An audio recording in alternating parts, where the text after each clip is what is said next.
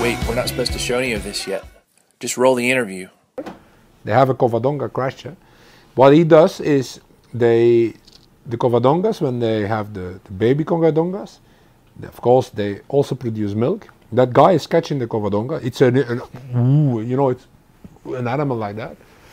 So it's a very dangerous job because they they also go in those caves that are really, oh, very difficult to reach. You know, it's it's they, it's like those birds that have the nest for the snakes that they can't get in. Well, the Covadongas have a bit the same.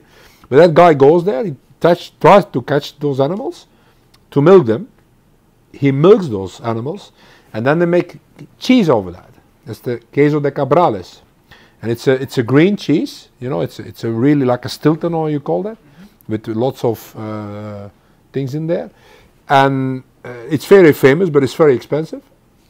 You can buy it in that region, Asturias. They normally give that also in the better restaurants, the one star or two star Michelin restaurants, and they will give you that. But uh, there is also um, possibility to have the meat of the covadonga, but that's that's almost impossible to get because there's only a few left. But that guy now, uh, I just heard last week that uh, as they needed more milk, so they sent him over and he, he fell down, about 30 meters fell down, and he fell on a covadonga. So he killed the animal. Yeah. And there's only 13 left now Yeah. because there were only 40.